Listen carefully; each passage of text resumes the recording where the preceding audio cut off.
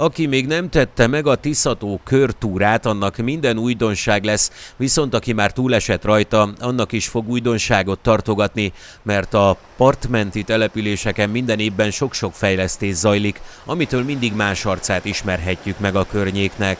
Végre jó idő van, lehet horgászni, csónakázni, sok ember van, bicikliznek. Gyönyörű a Tiszató. A 65 kilométeres túra egyik fénypontja a Tiszafüred és Poroszló közötti kerékpáros híd, ami a Tisza hullámaira emlékeztető elemekkel épült meg. Hú, merre jártunk? Hát leszálltunk a vasútról, Tiszafürednél, és azóta két keréken csak megyünk, amerre a első kerék áll. Itt mini kiugróknál lehet megállni és szelfizni, vagy akár csak átadni magunkat a látványnak. A túlkerékpár útjait rendszeresen javítják, karbantartják, és a legkritikusabb pontok mindig új aszfaltborítást kapnak. Az új megállóhelyek között a kiskörei lábasházat érdemes célba venni, de emellett kihagyhatatlan a hal lépcső megtekintése is.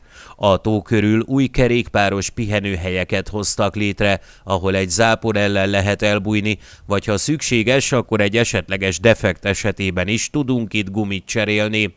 Érdemes megállni a kijelölt horgászhelyeken, ahol a páratlan panoráma mellett lehet egy kicsit lazítani, de akár Jasuk Dimitri jó reménység szigetén is, amely kisköréhez közel található, nem messze az üzemi híd után.